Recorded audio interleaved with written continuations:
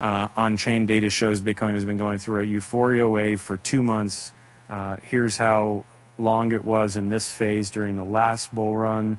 Uh, according to the latest weekly report from the on-chain analytics firm Glassnode, uh, the the current BTC cycle is is similar to um, the last one regarding a supply profitability state. There, uh, this indicator is based on the percent supply and profit, which keeps track of the percentage of the total circulating Bitcoin supply that's currently carrying a profit. Um, this metric works by going through the on-chain history of each coin in circulation to see the price uh, at which it was last transferred. Assuming that this last transaction was the last point at which it changed hands, the price at its time would reflect the coin's current cost basis.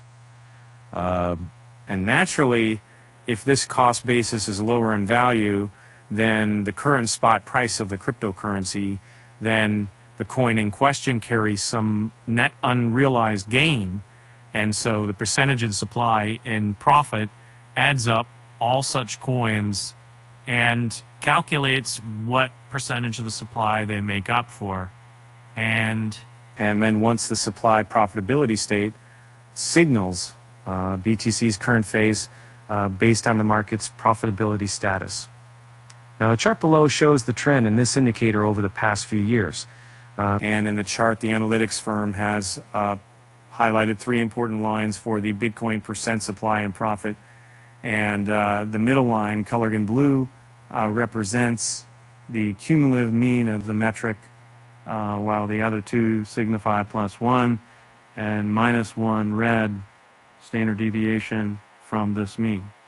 Uh, when the Bitcoin percent supply and profit is above the plus one SD, uh, you know, approximately 95% of the supply being in the green, the market may be considered to be in the moving euphoria or pre-euphoria phase.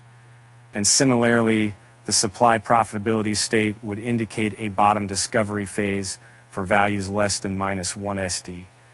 The zone between these two corresponds to the bear bull transition phase. Uh, from the chart, uh, it's visible that during the last bull run, uh, Bitcoin first saw a 1.5 month long pre euphoria wave during which the metric uh, tested the plus one SD line.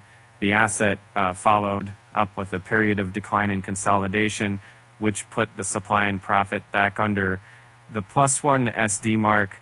Um, and finally, the coin observed a sharp rally, broke past the plus one SD barrier, and went on to achieve new all time highs, which naturally set the supply and profit to 100%. And Bitcoin seems to have witnessed a similar pattern uh, this time around.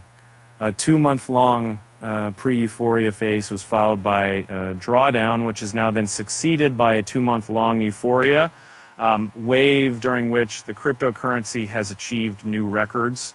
Uh, uh, if the euphoria wave lasts for a period for similar to the last bull run, then four more months might still be left for this Bitcoin bull rally.